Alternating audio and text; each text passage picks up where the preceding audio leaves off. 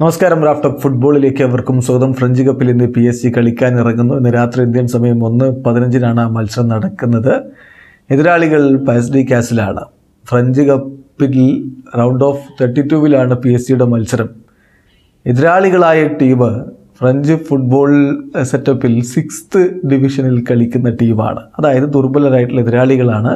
ഈ മത്സരത്തിന് വേണ്ടിയുള്ള പി എസ് സിയുടെ സ്കോഡ് പ്രഖ്യാപിച്ചപ്പോൾ നെയ്മർ ജൂനിയറും കിലിൻ എംബാപ്പയും സ്കോഡിലുണ്ട് പക്ഷേ ലിയോ മെസ്സിക്ക് സ്കോഡിൽ ഇടം കൊടുത്തിട്ടില്ല എന്തുകൊണ്ട് മെസ്സിയെ മാത്രം ഒഴിവാക്കി എന്നുള്ളത് ആരാധകരുടെ മനസ്സിലുള്ളൊരു ചോദ്യമാണ്.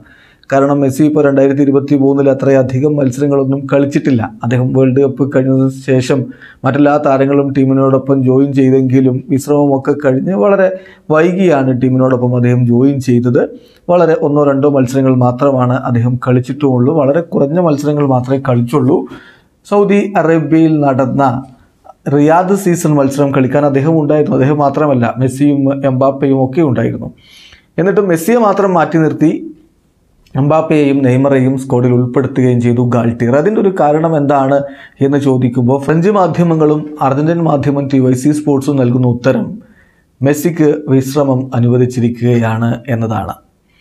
എന്തായാലും മെസ്സി വിശ്രമത്തിലാണ് മറ്റു പരിക്കിന്റെ പ്രശ്നങ്ങളൊന്നുമില്ല. അതുകൂടാതെ പി എസ് ജി അവരുടെ യുവതാരങ്ങൾക്ക് പ്ലെയിൻ ടൈം കൊടുക്കാനുള്ള ഒരു അവസരം എന്ന രൂപത്തിൽ കൂടി ഈ മത്സരത്തെ കാണുന്നുണ്ട്. അതായത് സൂപ്പർ താരങ്ങൾ ഉൾപ്പെടുത്തിയിട്ടുണ്ട് യുവതാരങ്ങളെയും ടീമിനോടൊപ്പം സ്ക്വാഡിൽ ഉൾപ്പെടുത്തിയിട്ടുണ്ട്. ടീമിന് പഴയ ആ ഒരു മികവിലേക്ക് തിരികെ എത്താൻ കഴിഞ്ഞിട്ടില്ല. വേൾഡ് കപ്പ് കഴിഞ്ഞതിന് ശേഷം അതായത് രണ്ട് മാസത്തോളം ടീം ഡിസ്പേഴ്സ് ആയി പല ഭാഗത്തേക്കും പോവുകയുണ്ടായി.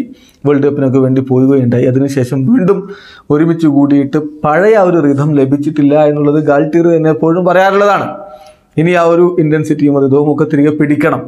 അതുകൊണ്ട് ചില സൂപ്പർ താരങ്ങളെ ഉൾപ്പെടുത്തുകയും വേണം. എന്നാൽ യുവതാരങ്ങൾക്ക് അവസരം കൊടുക്കുകയും വേണം. അങ്ങനെയൊക്കെയുള്ള ഒരു സാഹചര്യത്തിലൂടെ കടന്നു പോകുമ്പോൾ അതിനിടയിൽ ഒരു ബാലൻസ് കണ്ടെത്താനുള്ള ശ്രമത്തിലാണ് ഏതായാലും ഇപ്പോൾ ക്രിസ്റ്റോഫ് ഉള്ളത്. അതിന്റെ ഭാഗമായിട്ടാണ് ലിയോ മെസ്സിക്ക് ഈ മത്സരത്തിൽ നിന്ന് വിശ്രമം അനുവദിച്ചിരിക്കുന്നത്. അല്ലാതെ അദ്ദേഹത്തിന് പരിക്കിന്റെ പ്രശ്നങ്ങളൊന്നുമില്ല എന്നാണ് മാധ്യമങ്ങൾ അതായത് ഫ്രഞ്ച് മാധ്യമങ്ങളും അർജന്റീൻ മാധ്യമങ്ങളും ഇപ്പോൾ സൂചിപ്പിക്കുന്നത്. ഫുട്ബോൾ ലോകത്തെ കൂടുതൽ വിശേഷങ്ങളുമായി റാഫ്റ്റോക്സ് കൊണ്ടുവെത്താം